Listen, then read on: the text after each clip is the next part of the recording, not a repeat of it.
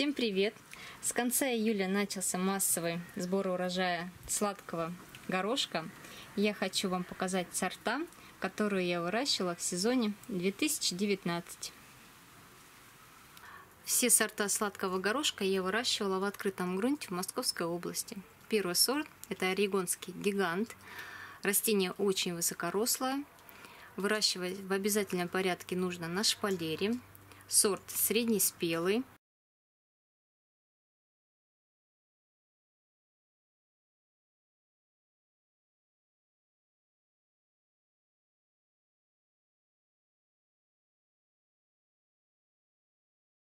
Лопатка очень крупная, достигает от 11 до 18 грамм веса. Зерна, наполненность очень хорошая. От 9 до 10 горошин. Здесь уже горошинки, они созрели. На вкус горох сладкий, нежный очень вкусный. Мне понравился. В основном снимаю в спелости в молочной. Это вот в такой. В свежем виде он просто для детей идеален. Ну и для взрослых тоже.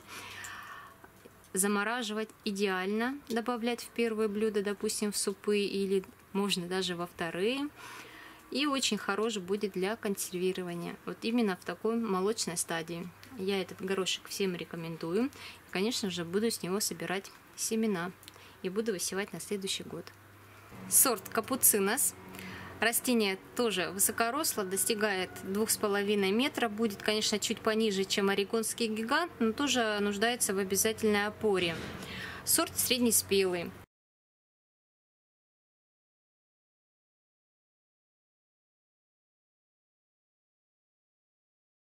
Лопатка средняя, имеет такую саблевидную форму.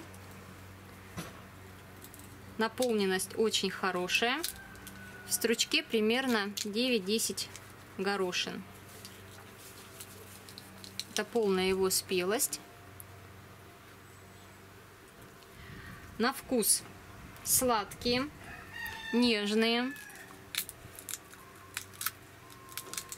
Очень хорошо подойдет для свежего употребления, потому что для детей это будет восторг также для заморозки и для любо, любых видов консервирования. Именно этот горошек и орегонский гигант я буду консервировать. Вкусный горошек, я его рекомендую. Следующий сорт Афила. Растение среднерослое, максимум метр двадцать в высоту. Среднеспелый сорт. По внешнему виду растение уникальное, потому что практически не имеет листвы, а вместо листвы образуют усики, и между собой они цепляясь, образуют опору. То есть к описанию к этому сорту э, было сказано, что в опоре не нуждается. Но я его высаживала, конечно, на опору.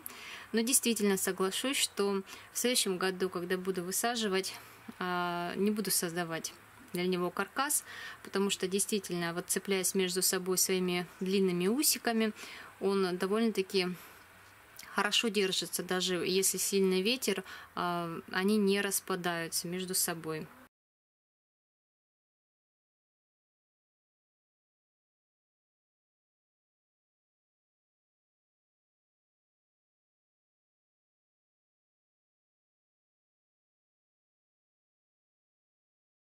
Лопатка у сорта небольшая, можно сказать даже мелкая, узкая, саблевидные формы вытянутая, наполненность зернами хорошая. От 8 до 10 штук в стручке.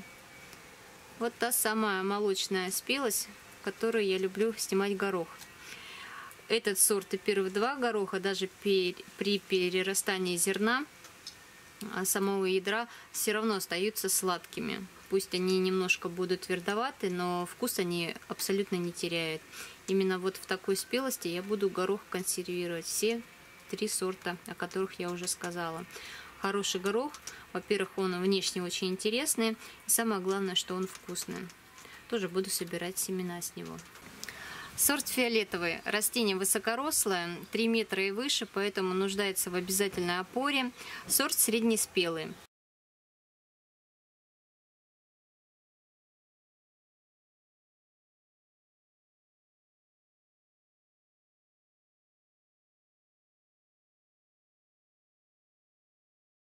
Декоративность его зашкаливает, потому что цветет он пурпурными цветочками, и сама лопатка в итоге тоже пурпурного цвета. Очень красивая.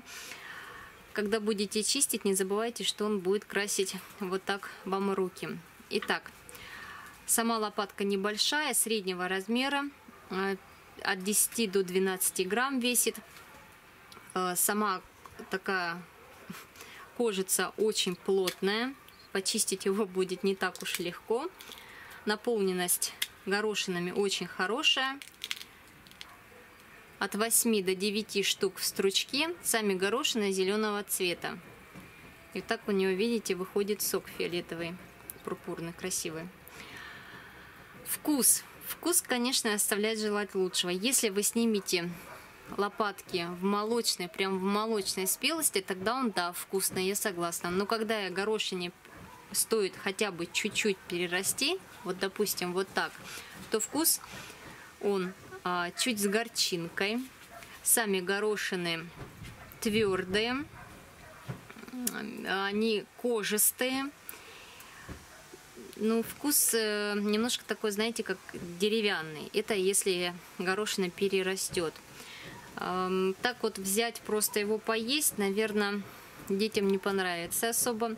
Еще один момент, я его попыталась а, полущила, заморозила и его добавила в суп куриный, то есть прозрачный бульон.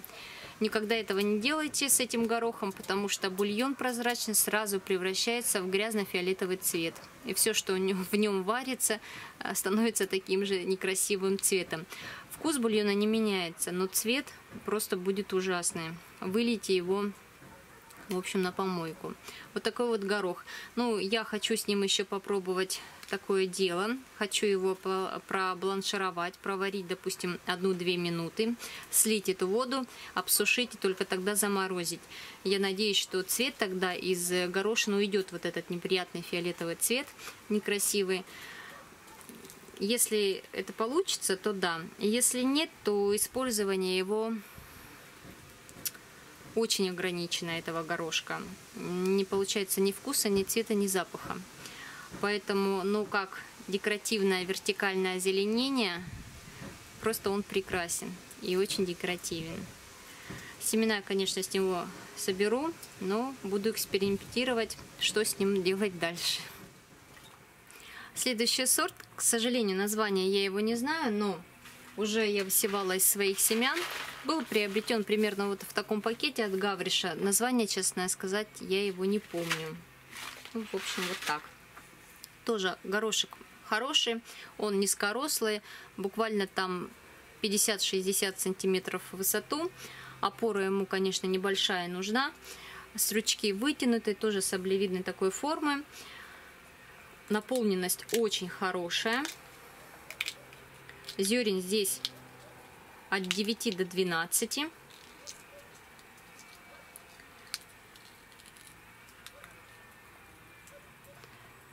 Такая зрелость самая отличная. Тоже сладкий, вкусный, нежный. Даже при перерастании не теряет свою сладость. Мне он нравится. Его тоже хорошо и для консервации, и просто поесть детям будут они в восторге. А у меня на сегодня все. Кто не подписан на мой канал, подписывайтесь. Желаю вам хороших урожаев и всем пока.